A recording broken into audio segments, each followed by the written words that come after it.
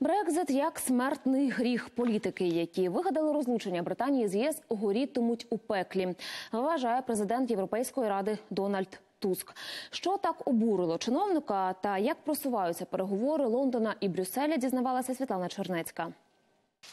Що менше часу до дня Брекзиту, то відвертішими стають політики. Президент Європейської ради ніколи не приховував. Він не хоче розлучення з Великою Британією, але вперше так різко розкритикував тих, хто займався просуванням ідеї виходу з ЄС. Мені цікаво, яке це особливе місце в пеклі для тих, хто просував Брекзіт, навіть не розробивши плану з його безпечного виконання. Дійсно, до виходу Британії з ЄС 50 днів, а досі немає чіткого бачення, як відбуватиметься розірвання відносин. Прем'єр Тереза Мей непохитна країна залишить Євросоюз 29 березня об 11 вечора.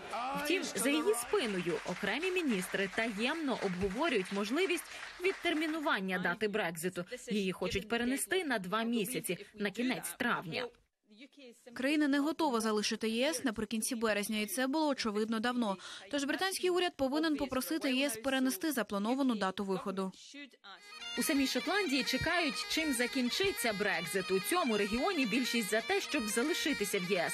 Для націоналістів це ще одна причина для відокремлення від Британії.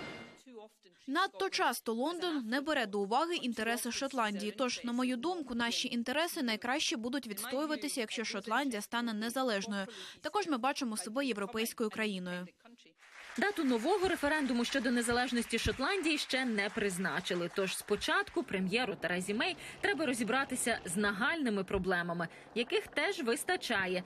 Завтра прем'єр знову вирушає до Брюсселя на зустріч із головою Єврокомісії Жан-Клодом Юнкером.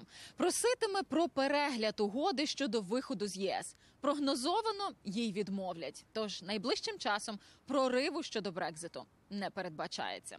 Світлана Чернецька, Валентин Біліч, подробиці британське бюро телеканалу Інтер.